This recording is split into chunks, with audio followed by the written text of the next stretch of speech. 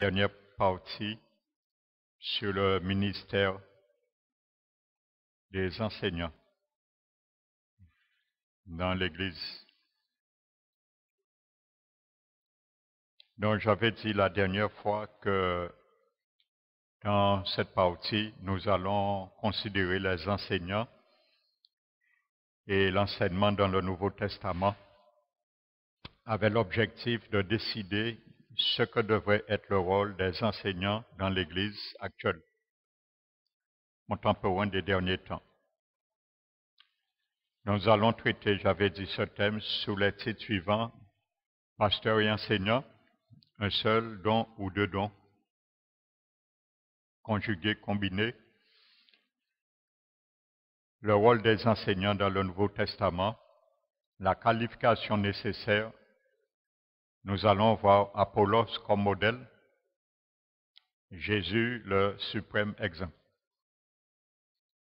Donc j'avais commencé par pasteur et enseignant, un seul don ou deux, parce que dans Ephésiens 4, il n'est pas fait mention de docteur et ensuite de pasteur.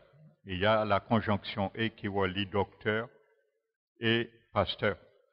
Donc, est-ce que c'est un seul don ou deux dons? Est-ce qu'un pasteur doit être systématiquement un enseignant ou pas? Donc, j'avais expliqué cela.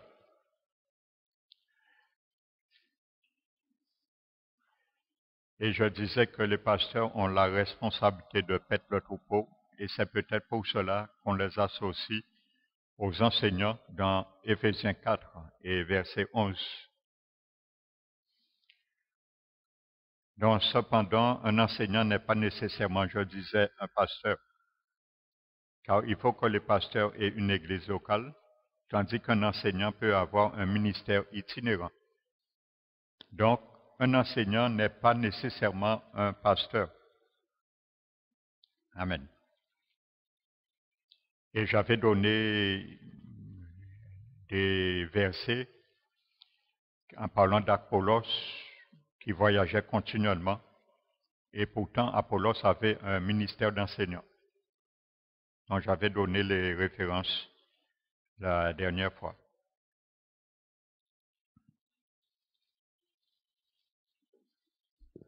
Dans la qualification nécessaire maintenant.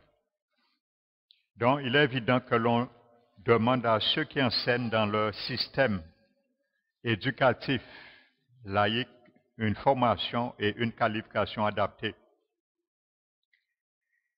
Ils ont aussi, espérons-le, une mesure de talent naturel, ce qui les aide à faire leur travail. Je parle dans l'enseignement dans le ministère de l'Éducation nationale, bien sûr. Hein. Donc cependant, presque tout le monde peut probablement se souvenir d'avoir eu à l'école un professeur qui n'était pas vraiment fait pour l'enseignement, même s'il avait des diplômes. Et ça, on le trouve dans tous les, domaines. Hein. On peut avoir fait l'institut, l'enseignement, avoir le diplôme, mais il y a beaucoup d'enseignants d'éducateurs qui leur manquent de la pédagogie. Je ne parle pas au niveau seulement des enseignants dans la Bible, mais je parle aussi au niveau de l'éducation nationale. Amen.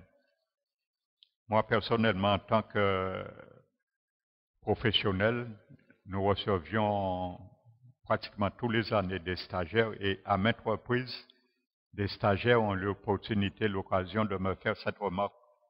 Ils me disaient que je ne suis pas professeur, mais j'explique, je leur explique tellement bien les choses qu'on aurait dit que c'est moi qui est leur professeur. Ils me disaient parfois que leur professeur ne les a jamais expliqué cela avec autant de pédagogie. Donc, c'est des choses qui arrivent le manque de pédagogie est, vraiment un frein au ministère.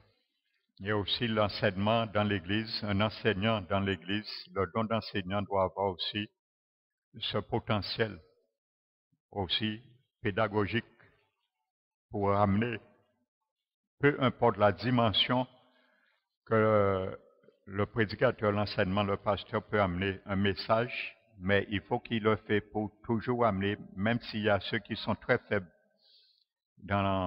très jeunes dans la conversion, et ceux qui sont très loin dans la conversion des années puissent les amener à comprendre quand même, avec une pédagogie que tous comprennent. Amen. Donc ça aussi, c'est valable aussi, bien sûr, pour l'enseignement, les enseignants à l'Église. Donc, ils n'avaient pas ce don naturel. Je parle toujours dans le contexte des éducateurs, des professeurs dans l'enseignement. Donc, ce qu'il faut bien sûr, c'est le don et la formation. Ce sont les vraies qualifications. Et en ce qui est vrai de l'enseignant dans le domaine séculier, à sa contrepartie dans la vie de l'Église. Les enseignants doivent en premier lieu être équipés par Christ. Nous l'avons vu Ephésiens 4, 11. C'est la principale qualification, mais l'équipement en lui-même ne suffit pas. On peut avoir euh, une épée, mais si on n'a pas appris à la manier, ça ne sert à rien. Donc avoir l'épée ne suffit pas. Mais savoir la manier, c'est ce qui fait un tout. Donc toute personne qui veut enseigner doit d'abord apprendre ce qui est normal. On ne peut pas enseigner quelque chose que nous-mêmes nous n'avons pas compris. Et je disais la dernière fois, j'ai fait mention, allusion que quand j'étais dans une église et j'avais posé une question et on était incapable de me répondre. Ceux même qui mettent l'accent vraiment sur la doctrine fondamentale de cette église et ils étaient incapables dont les enseignants doivent toujours être prêts à apprendre plus exactement la voix de Dieu. Et acte 18, 26, nous l'avons vu en parlant d'Apollos. Nous allons le prendre, acte 18, verset 26.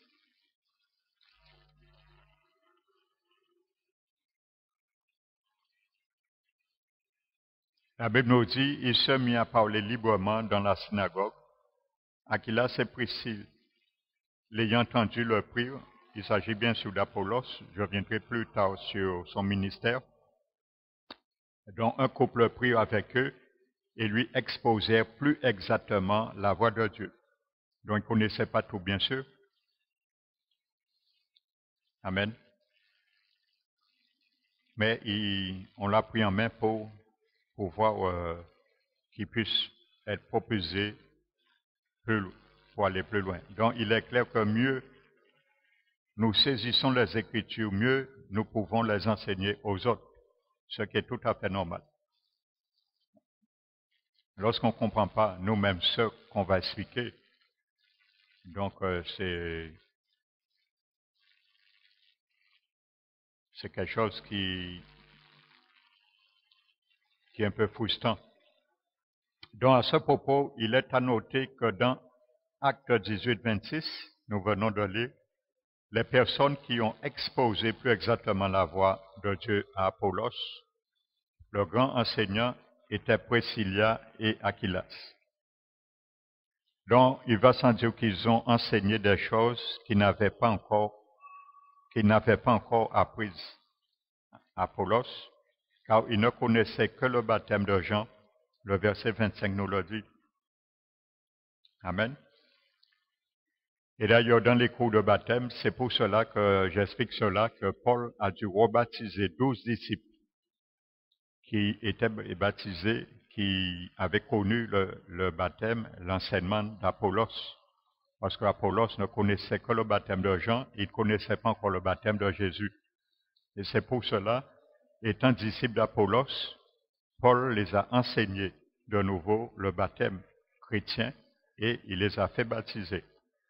Parce que le baptême que Apollos les avait enseignés était le baptême de Jean-Baptiste et c'était un baptême qui, de repentance et qui poindrait vers le salut.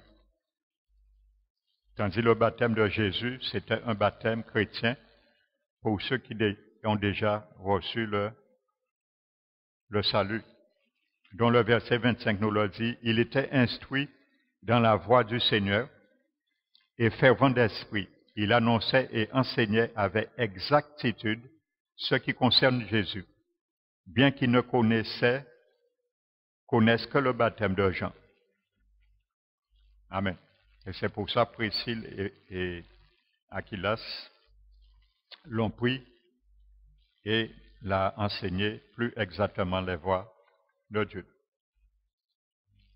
Donc il est clair que mieux on saisit les Écritures, mieux on peut les enseigner aux autres. Donc à ce propos, il est à noter que, je disais, il ne connaissait que le baptême de Jean. Cela nous amène naturellement à parler d'Apollos maintenant, qui sera comme modèle aujourd'hui, comme nous avions pris exemple des modèles aussi en ce qui concerne les apôtres, les évangélistes et autres. Donc, comme nous l'avons déjà noté, Apollos diffère un peu des pasteurs enseignants dont le ministère que nous avons considéré dans le chapitre précédent a trouvé son principal débouché dans les églises, dans une église locale. Donc c'est parce qu'il est l'exemple d'un enseignant qui a voyagé énormément. Nous l'avons vu, acte 18, versets 24 à 28. 1 Corinthiens 16, verset 12, je les réitère. Et chapitre 3, et le verset 13. Verset 13. Donc Apollos était plus enseignant que pasteur enseignant. C'est pour ça que nous l'avons choisi comme modèle. Donc Apollos était un juif originaire d'Alexandrie. Donc, c'est une ville en Égypte, la seconde ville de l'Empire romain. Cette ville était aussi le siège d'une célèbre université. C'était à l'époque l'université qui existait, qu'on appelait Alexandrie, dont Apollos était originaire de cette ville. Dans Acte 18, 24, la Bible décrit Apollos comme un homme éloquent et versé dans les Écritures. C'est sans aucun doute à cause de son éducation juive. Cette éducation solide en arrière-plan, ainsi qu'une éloquence naturelle, ont probablement fait d'Apollos le grand orateur public qu'il était. Et nous avons vu dans Acte 18, particulièrement verset 25 et le verset 28. Donc, ayant entendu au moins, ou du moins entendu parler de, littéralement, la prédication de Jean-Baptiste, Apollos a été convaincu de sa vérité et a utilisé sa grande capacité pour parler dans la synagogue juive de la voix de Dieu. Donc il le faisait hardiment avec zèle et du mieux qu'il pouvait dans la mesure de ses connaissances. Donc cependant, elles étaient incomplètes, ses connaissances étaient incomplètes. Et à ce moment-là, parce qu'il ne connaissait que le baptême de Jean, nous l'avons vu, donc cela signifie probablement qu'il ne connaissait pas encore le message de Jésus, mais croyait à celui de Jean, annonçant l'arrivée imminente du Messie. Maintenant, quand Priscilla et Aquila l'ont entendu, ils l'ont invité chez eux et lui ont exposé plus exactement la voix de Dieu, comme nous l'avons vu au verset 26. Maintenant, plus tard, Apollos a voyagé jusqu'à Corinthe et a été d'un grand secours aux chrétiens de là-bas, car il était capable de réfuter les Juifs au cours de débats publics en démontrant par les Écritures que Jésus était le Christ. Amen. Et c'est ce que Dieu nous demande aussi, de réfuter tout contradicteur en nous basant sur les Écritures. Lorsqu'il y a des sectes, par exemple, qui viennent nous parler, pour que nous puissions avoir la capacité, selon les Écritures, de les réfuter et de condamner les doctrines de démons, comme il est dit dans la Bible. Dans cette brève description du ministère d'Apollos, on peut tirer plusieurs leçons. Premièrement, les enseignants aujourd'hui contemporains devraient suivre ce modèle. Les enseignants doivent être prêts à enseigner la voix de Dieu plus exactement. Amen. Apollos est devenu un meilleur enseignant parce qu'il était prêt à devenir un étudiant. Ça, c'est très important. Il y a beaucoup qui ne veulent pas devenir un étudiant et veulent devenir un enseignant. Il y a beaucoup qui n'étudient pas leur Bible et ils veulent enseigner. Ça ne peut pas tenir debout. Parce que nous-mêmes, nous serons porte-à-faux. Nous allons enseigner des choses même que nous ne sommes pas même convaincus. Amen. Donc, deuxièmement, en lien étroit avec cela, nous voyons que l'enseignant a besoin d'humilité. Ça, c'est important. Paul nous avertit dans 1 Corinthiens 8, verset 1, que la connaissance enflamme. Ce n'est pas à Dieu, on ne doit pas avoir la connaissance. Mais ça veut dire qu'on ne doit pas s'enorgueillir, mais de rester humble. Elle peut être une source d'orgueil. Malgré sa grande culture, Apollos était prêt à apprendre des autres. Troisièmement, la principale tâche de l'enseignant est d'aider les croyants. Nous l'avons vu toujours dans le même chapitre, le verset 27.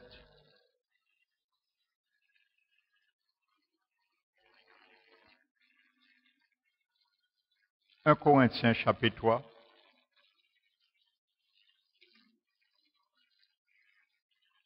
Versets 5 à 6. Paul dit qu'est-ce que donc Apollos et qu'est-ce que Paul? Des serviteurs par le moyen desquels vous avez cru, selon que le Seigneur l'a donné à chacun. Il dit, j'ai planté, Apollos a osé, mais Dieu fait quoi Amen. Donc comment Apollos, comment Paul a planté avec la parole et comment Apollos a osé aussi avec la parole? Amen. Donc la parole est une semence, mais la parole est une eau aussi. Amen. Qui doit jaillir. Alléluia. Cependant, chaque chrétien devrait chercher à répandre la bonne nouvelle de Jésus et les enseignants ne font pas exception. Apollos, dans son ministère d'enseignant, évangélisait en même temps de manière puissante. Amen. Nous l'avons vu dans le chapitre précédent, acte 18, versets 25 et 28. Et quatrièmement, l'exemple d'Apollos suggère que le talent naturel peut vraiment faire partie de l'équipement donné par Dieu à une personne. Son ministère était en étroite relation avec ses capacités naturelles. Même si ce n'est pas toujours le cas, cela arrive souvent. Paul pouvait dire dans Galates 1, verset 15, que Dieu l'avait mis à part dès sa naissance, littéralement dans le sein de sa mère, dès le sein de sa mère, pour qu'il puisse prêcher. Et Dieu a dit à Jérémie qu'avant d'être formé dans le ventre de sa mère, il avait mis à part comme prophète pour les nations. Dans Jérémie 1 et verset 5. Donc ces versets suggèrent probablement que Dieu nous fait naître avec des dons naturels, nous rendant parfaitement capables de remplir le rôle qu'il a prévu pour nous dans la vie. Donc comprendre cela est probablement la clé qui va nous aider à identifier nos dons au service du Seigneur. Donc finalement, il est clair qu'Apollos a enseigné avec beaucoup d'enthousiasme. Notons les mots fervent, librement. Il y a d'autres traductions qui disent audiment et vivement dans les versets 25, 26 et 28. Donc rien ne suggère ici que son enseignement était sec. Donc ne nous étonnons pas que Paul ait pu dire d'Apollos qu'il a arrosé, comme nous l'avons vu dans Corinthiens 3, verset 6. Cela suggère qu'au-delà des capacités naturelles qui formaient une partie de son ministère d'enseignant, hors du commun, il y avait les indispensables fleuves d'eau vive qui ne peuvent venir que du Saint-Esprit lui-même. Mais si Apollos était un grand enseignant, il y en a un qui était encore plus grand, et c'est notre modèle suprême. Il s'appelle le Seigneur Jésus, dans le Jésus, notre modèle suprême. Dans nul doute que Jésus était le plus grand enseignant que le monde ait jamais connu. Amen. Ça, c'est sans précédent. Il a su amener près de 5000 personnes, hommes. Ils ont dit, la Bible dit hommes, sans compter les femmes et les enfants. Mais selon les historiens, il semblerait qu'il y avait 15 à 20 000 personnes le jour de la multiplication des pains. Or, Jésus n'est pas passé dans aucune télé faire des annonces, aucun prospectus, ni sur Internet, et pourtant la qualité de son enseignement a pu emmener toutes ces foules pour venir l'entendre. Amen. Donc, ça prouve que l'enseignement, quand même, peut attirer. Il y a beaucoup qui viennent lorsqu'ils entendent qu'il y a un, un orateur ou un conférencier qui a une option sur la guérison, sur la délivrance, ainsi de suite. Ça attire du monde.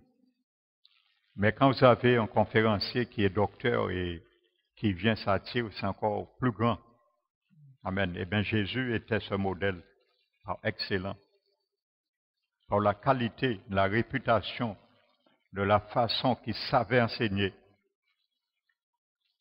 la pédagogie qu'il avait en lui, attirait de la foule.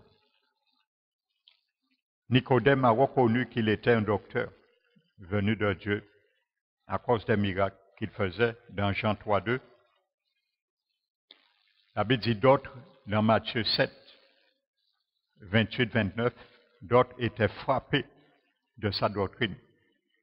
La Bible dit frappés de sa doctrine, car il enseignait comme ayant autorité et non pas comme leur scribe. Amen. Il y a des gens qui enseignent, il y a des gens qui parlent de Dieu, mais on sent aucune conviction. Et ça, personnellement, j'ai eu l'occasion d'écouter aussi des, orateurs. Hein. On a l'impression que les gens sont en train de lire la Bible. C'est tout. On sent rien qui frappe euh, dans la doctrine. On ne sent pas qu'il y a vraiment une option particulière. Ça ne veut pas dire qu'on doit voir des miracles, mais on ressent qu'il y a une option qui doit se dégager à travers certaines prédications, certains enseignements. Dans la Bible dit Jésus, certains étaient frappés de sa doctrine, car il enseignait comme ayant autorité et non pas comme le scribe. Dans Matthieu 7, verset 28-29. Ceux qui l'écoutaient sont restés avec des cœurs qui boulaient au-dedans d'eux. Amen. Voyez ça, c'est l'effet de la parole, l'enseignement, l'enseignant. Amen. Donc, il y a des réactions qui se font.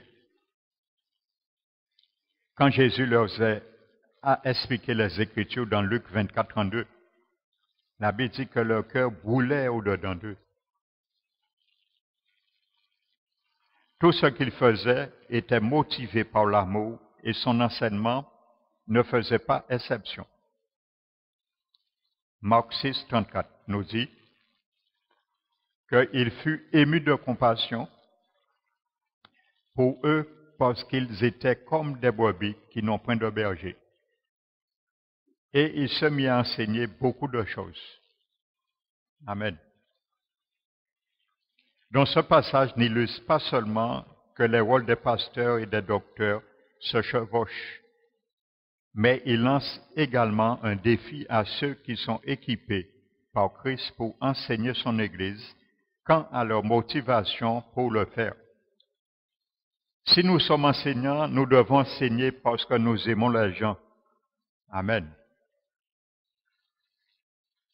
Et non pas parce que nous voulons étaler nos connaissances. Amen.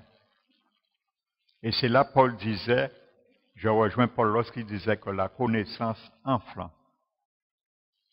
Amen.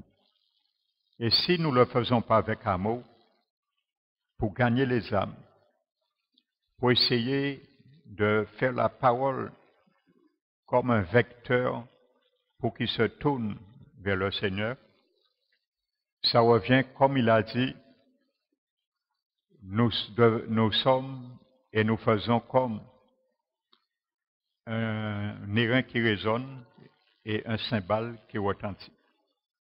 Amen. Ce n'est que du bruit qui n'aboutit à rien. Amen.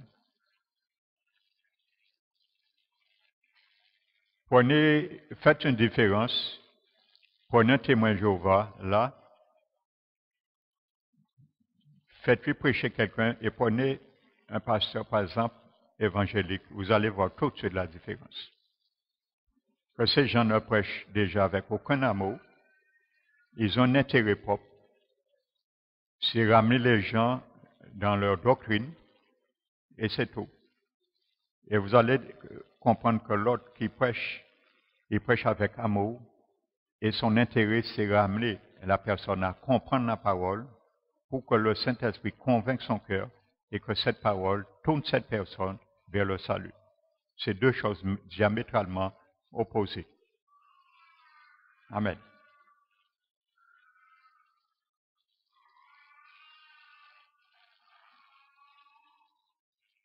Donc ceci nous amène à un autre aspect de l'enseignement de Jésus, sa grande simplicité. Un grand enseignant ne donne pas aux choses simples une apparence compliquée. Et c'est là vraiment la pédagogie. Amen.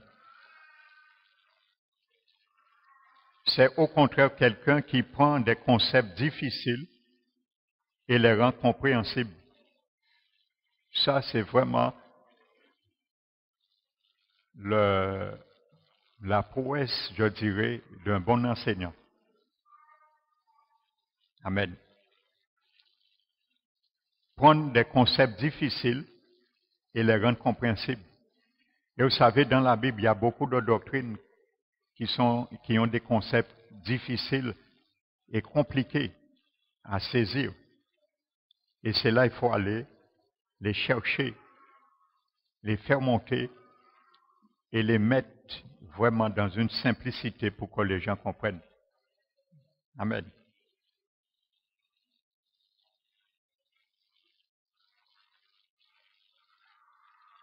Jésus a enseigné des vérités les plus profondes, et cependant tout le monde pouvait le comprendre. Ceux qui le voulaient, bien sûr. Comme aujourd'hui aussi dans les églises, il y a des chrétiens qui font semblant de ne pas comprendre, mais ils comprennent très bien. C'est eux qui comprennent mieux. Ils font semblant de ne pas comprendre. Mais au regard du pasteur, mais au regard du Seigneur, le Seigneur sait très bien qu'ils ont compris. Et moi, je parle à ma personne. En ce qui me concerne, je cherche que quand je porte un message ou une doctrine, chercher à savoir que les gens ont bien compris. Et je vais reprendre sous divers menus ce même enseignement pour m'assurer que la personne a bien compris.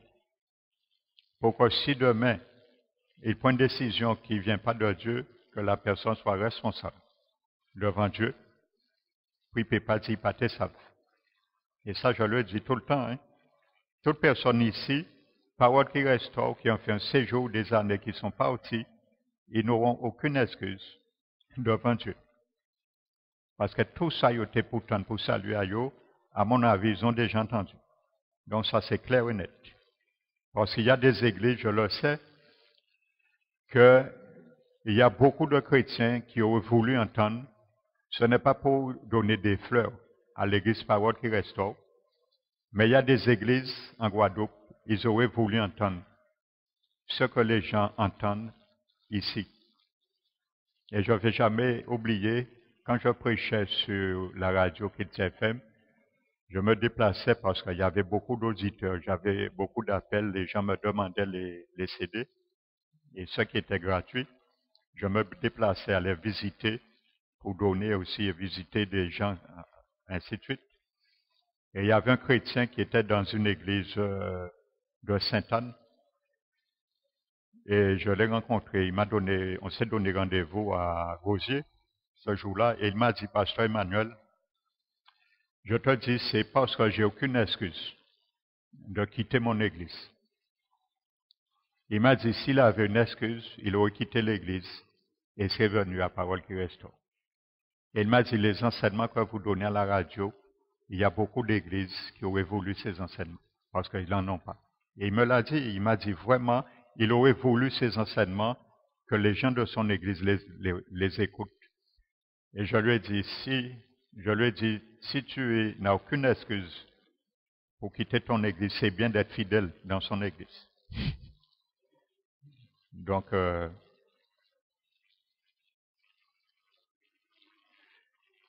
Donc je disais que Jésus a enseigné la vérité les plus profondes et cependant tout le monde pouvait comprendre. Son enseignement était simple, clair et illustré au moyen d'exemples familiers tirés de la vie courante. Amen. Mais peut-on vraiment s'attendre à l'imiter? Il était sans aucun doute totalement unique. Il était la parole. Déjà, dont la parole enseigne la parole. Il était la vérité. La Bible nous l'a dit dans Jean 1.1, dans Jean 14.6 aussi. Comment peut-on aspirer à enseigner comme il le faisait? On ne le peut probablement pas, mais on peut certainement apprendre de lui, parce qu'il est l'enseignant par excellence. Dans le mystère de l'incarnation, Jésus était Dieu, mais il était aussi homme. En tant qu'homme comme nous, il croissait en sagesse. Nous le voyons dans Luc 2, 52. La Bible dit croissait en sagesse, en connaissance en statut et il respirait la crainte de l'Éternel. dont il ne savait pas tout. Cependant, tout ce qu'il disait était vrai, parce qu'il croissait en sagesse. Amen. Parce qu'il dépendait complètement de Dieu. N'oublions pas, le Seigneur s'était dépouillé. Il était 100% homme dans son corps physique, dans sa chair, mais il était 100% Dieu dans son esprit.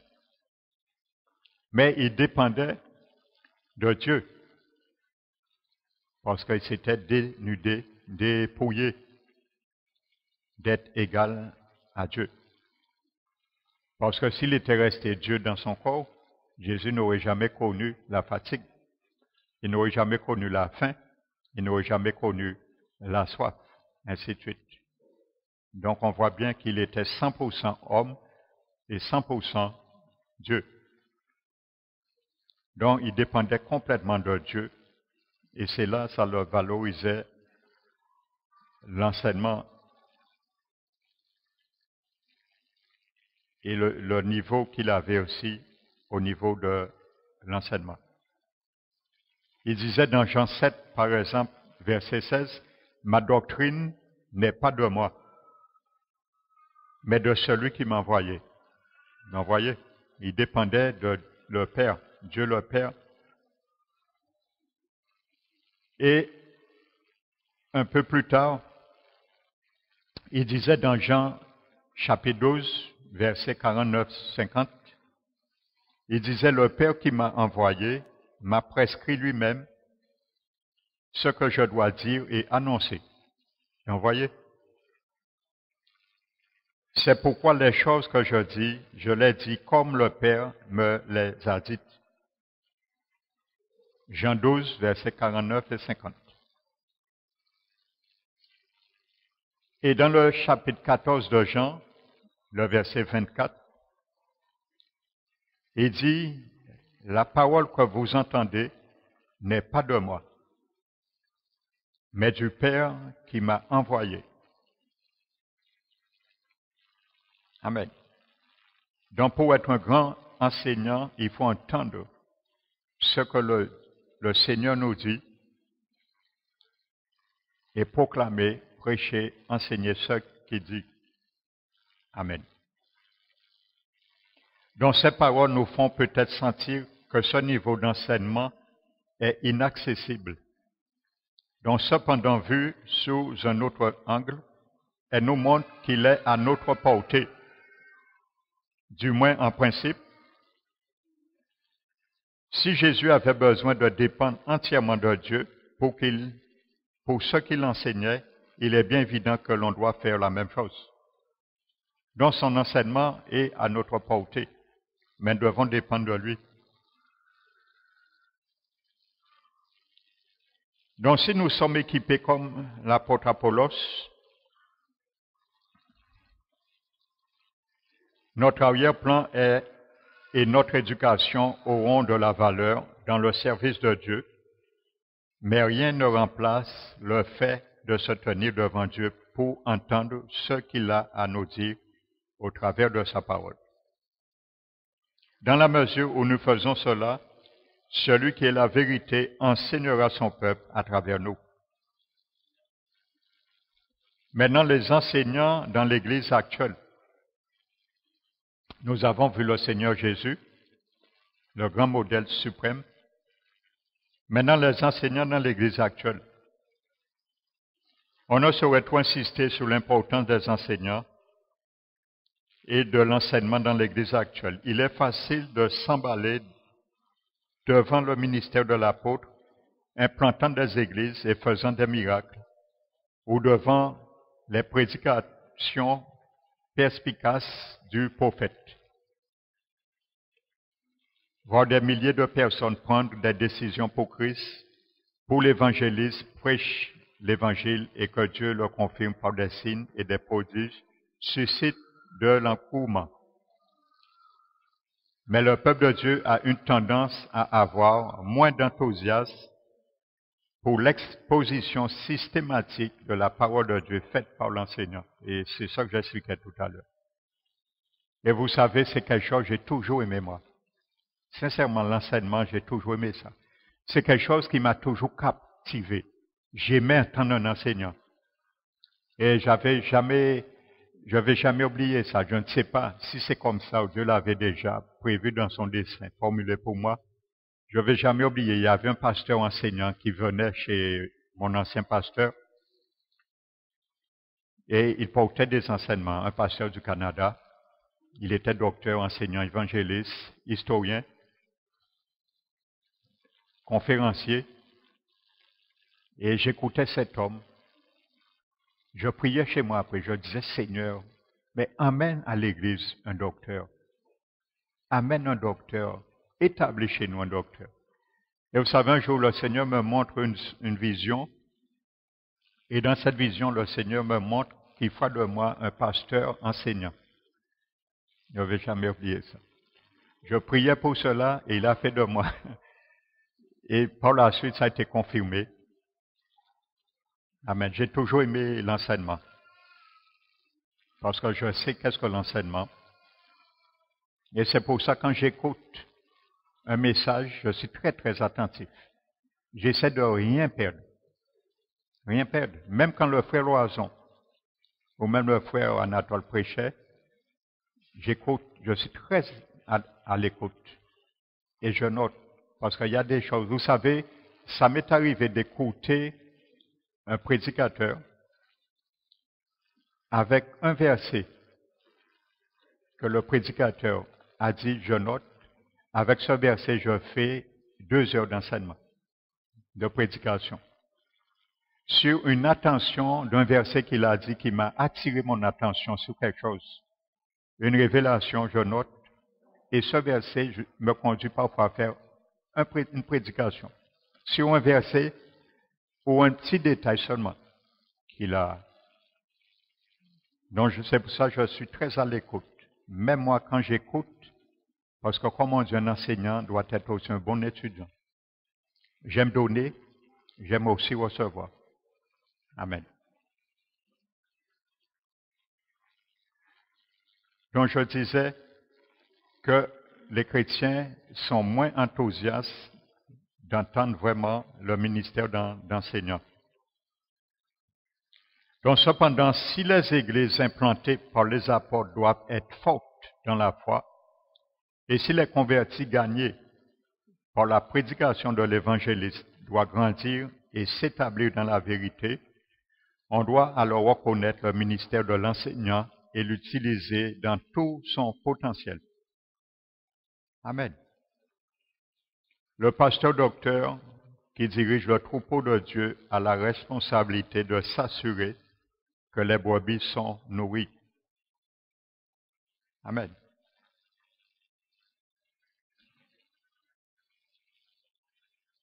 Comme nous l'avons déjà vu, les enseignants sont donnés à l'Église avec les autres dons mentionnés dans Ephésiens 4, 11 pour équiper le peuple de Dieu en vue de l'œuvre du ministère. Cela impliquera une instruction à la fois théorique et pratique. L'expression en vue de l'œuvre du ministère du verset 12 d'Éphésiens 4 implique sans aucun doute une dimension pratique. Amen. Donc c'est pour cela aussi que celui qui enseigne, il doit vivre aussi, aussi ce qu'il prêche. Et c'est pour ça Paul disait que ce que vous avez appris, reçu, entendu de moi et vu de moi, pratiquez-le. Amen.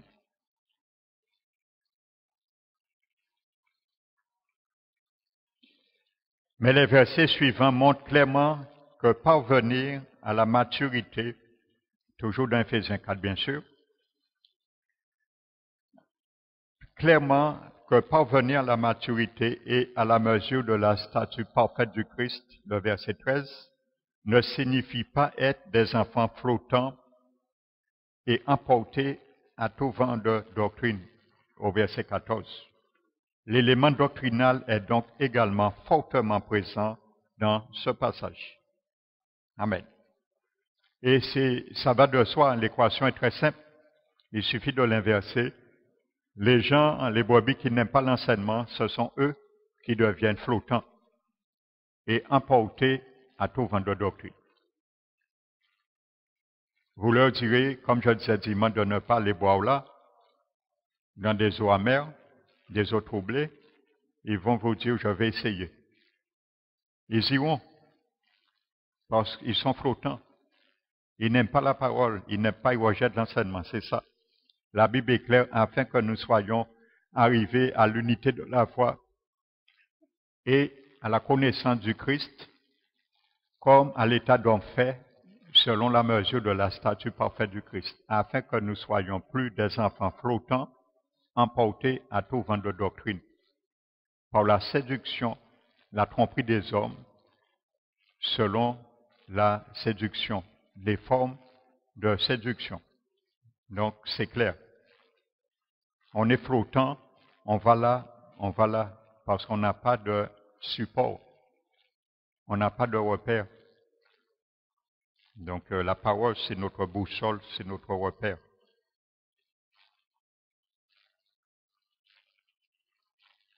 Donc ainsi, le ministère actuel d'un enseignant doit contenir des éléments à la fois théoriques et pratiques de la doctrine et des principes de vie. Combinaison que nous voyons magnifiquement harmonisée dans les épîtres du Nouveau Testament. À quoi servirait une, cette doctrine s'il n'en résultait pas une vie droite chez les gens? La doctrine est faite pour ça. Et s'il est impossible de vivre droitement jusqu'à ce que la parole de Dieu éclaire notre entendement, c'est la vérité qui libère. C'est très bien illustré dans Romains 6, qui montre clairement jusqu'à ce que je comprenne que je suis mort au péché, je ne peux pas vraiment vivre libre du péché. Ce que nous voyons en tant que chrétiens affecte ce que nous sommes. Donc, à cause de cela, les enseignants doivent s'assurer que le troupeau de leur message, le, contenu plutôt de leur message est à la fois doctrinal et pratique. Même si ce n'est pas le moins du monde la seule façon d'enseigner, l'exposition systématique des Écritures assurera évidemment ce principe, puisque les Écritures elles-mêmes contiennent les deux éléments. Soit dit en passant, elle empêchera également l'enseignant d'insister constamment sur ses thèmes préférés, ce qui lui évite les passages ou les questions difficiles ou moins populaires. Donc cela nous amène à cette question importante. Qui devait être responsable de l'enseignement dans l'Église actuelle? Dans le chapitre précédent, nous avons vu que c'est la tâche de l'équipe pastorale ou de l'équipe ancienne. De plus, il peut y avoir des gens comme Apollos qui exercent un ministère plus étendu à travers les églises. De telles personnes doivent être bien sûr convenablement équipées, mais elles doivent aussi être prêtes à apprendre et à continuer à le faire. On devrait aussi y trouver des personnes qui ont des motivations pures de l'amour pour les gens et non pas simplement du zèle pour la vérité. Même ceux qui sont relativement jeunes dans la foi peuvent posséder ces qualités, même si ont relativement fait peu d'études eux-mêmes en aidant à équiper le peuple de Dieu en vue de l'œuvre du ministère, l'enseignant a sans aucun doute partiellement pour responsabilité de repérer de telles personnes et de les amener à la maturité dans leurs dons en leur montrant non seulement ce qu'ils doivent enseigner, mais aussi comment le faire. Paul a sans doute cela l'esprit quand il dit à Timothée, dans 2 Timothée 2.2, ce que tu as de moi, entendu de moi, confie-le à des hommes fidèles qui soient capables de l'enseigner aussi à d'autres. Voyez, il dit des hommes fidèles. Parce que Jésus, n'oublions pas, dit qu'il ne doit pas jeter les perles au pourceau. Amen. Donc, confie-les à des hommes fidèles qui sont capables de l'enseigner aussi à d'autres. Donc il n'est pas difficile de croire qu'il y a quatre générations d'enseignants, d'enseignants dans ce verset. Paul a appris à Timothée à enseigner à des hommes fidèles qui seront capables d'enseigner à d'autres. Donc c'est complètement en accord avec ce que Jésus a ordonné quand il a donné cette grande mission. Amen. Que les apôtres devaient faire de toutes les nations des disciples et leur enseigner à observer tout ce que Jésus leur avait prescrit dans Matthieu 18, versets 12 à 20. Donc cela suggère également que l'on peut donner un enseignement à différents niveaux. Dans l'Église locale, des enseignants plus expérimentés pourraient bien donner des conseils à des enseignants moins expérimentés concernant le contenu de l'enseignement qu'ils pourraient donner, par exemple à des jeunes convertis, à une classe d'école du dimanche ou à une cellule.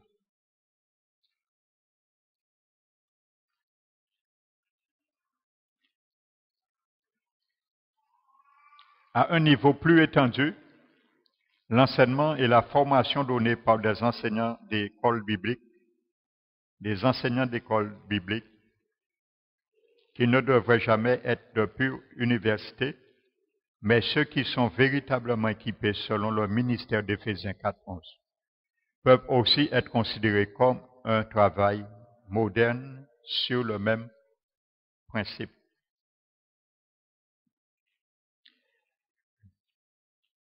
Donc, conclusion, enseigner est d'une importance vitale parce que c'est la vérité qui nous affranchit.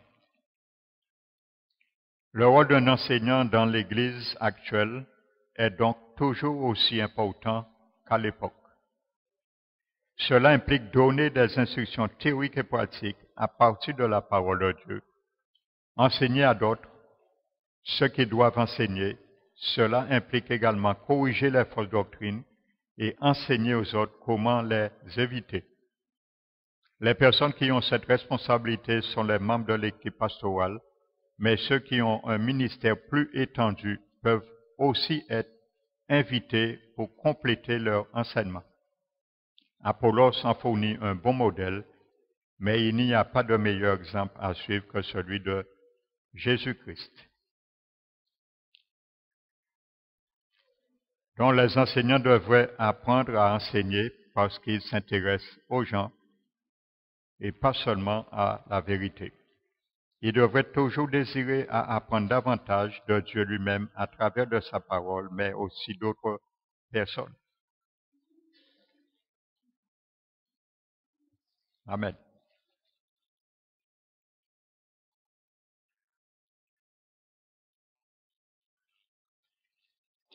Donc, en gros, voici pour le, ministère d'enseignant. Amen. Donc, j'ai exploité en gros les, cinq ministères. Apôtres, ministère euh, ministériel, bien sûr, ou missionnaire, apôtres, prophètes, évangélistes, docteurs et pasteurs. Amen. Donc voilà, en conclusion pour ces cinq ministères, et qu'on peut appeler ces cinq ministères le ministère de la parole. En gros on retrouve toujours au centre, en exergue, la parole. Amen.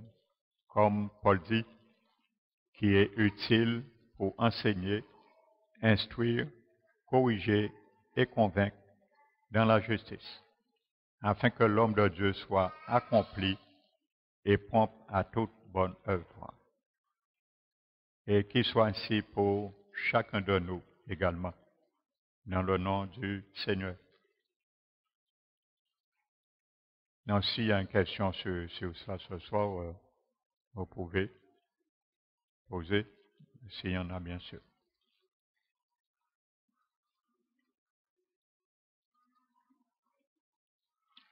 Autrement, nous allons partir, nous allons nous mettre debout.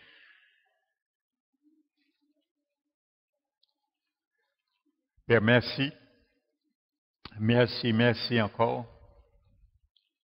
Nous te remercions encore pour cette partie que tu nous as encore comblée. Oui. Permets, Seigneur,